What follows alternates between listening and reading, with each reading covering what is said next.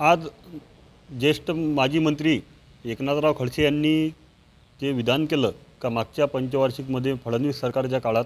पासष्ट हजार कोटीच्या खर्चाची खर्चाबाबत जी तफावत आणि त्यात घोटाळे असण्याची शक्यता नाकारता येत नाही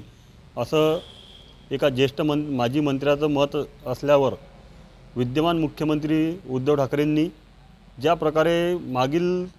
सरकारच्या काळातील योजनांना स्थगिती आणि पारदर्शकता येण्यासाठी ज्यांनी स्थगिती दे दिल्या त्याचप्रकारे यांच्या विधानावरून या प्रकरणाबाबत सखोल चौकशी करून त्या घोटाळ्याबाबत पूर्ण माहिती करून घ्यावी आणि दोषींवर चौ योग्य ती चौकशी करून कारवाई करावी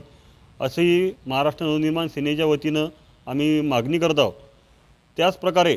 शिवाजी महाराजांच्या पुतळ्यामध्ये स्मारकाबाबत जो भ्रष्टाचार झाला चिक्की घोटाळा झाला असा आरोप या पाच वर्षात झाल्यानंतरही या सारे घोटाळा झाला. परंतु या मुख्यमंत्र्यांनी क्लीन चिट मुख्यमंत्र्यांनी पूर्ण त्यांच्या मंत्र्यांना क्लीन चिट दिली. परंतु आता नवीन मुख्यमंत्र्यांनी ज्या प्रकारे या योजनांबद्दल स्थगित्या दिल्या तसंच पारदर्शक म्हणून या पूर्ण घोटाळ्यांची चौकशी करावी आणि दोषींवर कठोरात कठोर कारवाई करावी ही आमची महाराष्ट्र नवनिर्माण सेनेच्या वतीनं मागणी.